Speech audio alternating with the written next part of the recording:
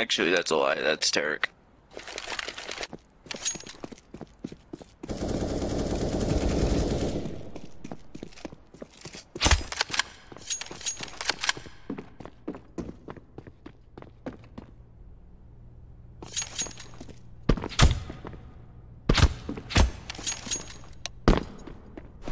It worked! Oh my god, I got them gone!